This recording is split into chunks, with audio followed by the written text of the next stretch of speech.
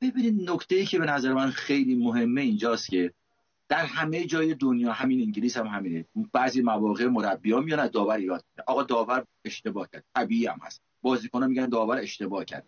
اما هیچ وقت این اشتباه داور بر مبنای یک تفکری از قبل تعیین شده که بخوان تیم اینا رو ببازونن نیست. ببینید من اعتقاد دارم همون جوری که بازیکن اشتباه می‌کنه. آیا وقتی یه بازیکن تیم خودش برای مثال بازی اون داشتیم صحبت مثال جالبی کرد بچه‌ها زد. گفت وقتی سپام و ملوان بازی داشت اشتباه خط دفاعی سپام و خصوصا امید افکن باعث اون گروه مساوی رو بخورن و قهرمانی از دستشون بره. آیا کسی خط دفاع سپاه یا شخص امید نورافکن رو متهم کرد؟ نه اشتباه کرد دیگه طبیعه در داور هم همینه داور اشتباه می‌کنه. اما اگر این تفکر باشه که اشتباه داور از قبل تعیین شده است پیش بینی شده است و داور این کاری می‌کنه برای اینکه یک تیم قهرمان می‌کنه و یک تیم قهرمان نکنه اینجاست که مشکل به وجود میاد.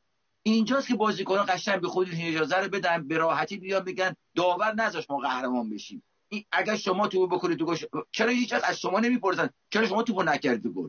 چرا شما که مدافع هستی اجازه تو بین راحتی برید توی دروازه؟ دروازه چرا شما اشتباه کردید ببین ایناست که نشون میده که ما الله همون که شما گفتی فرهنگی رشد نکردیم. ما فوتبال اروپا رو می‌بینیم. همش هم داریم تعریف می‌کنیم از فوتبال اروپا. مسائل تاکتیکشون رو می‌بینیم. همش هم به دنبال این هستیم تمرینات تیم‌های اروپایی رو بریم ببینیم ببینیم چجوری فوتبال بازی می‌کنن. آیا بیرون زمین رفتارشون رو دیدیم ببینید اون چیزی که در فوتبال انگلیس و در فوتبال اروپا از چندین دو دهه دهه پیش شده چهار فاکتور مهمه که یکی از این فاکتورها احترام همون سوشیالی یعنی ما احترام بذاریم به هم دیگه.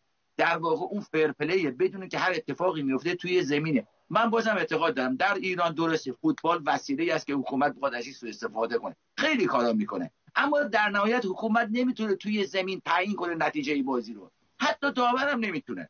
حتی داورم نمی‌تونه. بخاطر این داور یه بار اشتباه کنه یه بار بر علیه یک تیم بگه. بار دوم که نمی‌تونه بگه همه ما داریم می‌بینیم با توجه شرایطی که هست همه تشخیص میدن دیگه. برای همین اعتقاد دارم این موضوع تنها بهانه شده نه تنها بهانه بلکه برای خیلی یک در واقع تفکر شده که واقعا اینطوره تمام کمبودهای خودشون ناکامی های خودشون رو بس میدن به داور و به جای اینکه به فکر این باشن که مشکلات خودشون رو برطرف کنن کمبودهای خودشون رو برطرف کنن احترام نمی‌ذارن به حریف مقابل که این همه زحمت کشه به داره قهرمان.